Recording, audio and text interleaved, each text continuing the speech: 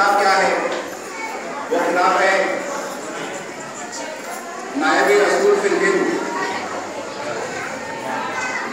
नायब रसूल फिल हिंद यानी रसूल का नायब हिंदुस्तान के लिए।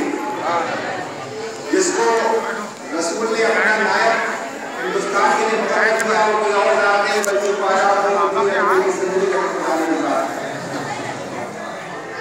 तो मेरे अजीजों बहुत से लोग तरसते हैं कि किसी तरीके से मदीने मुनव्वरा की हाजिरी हो जाए।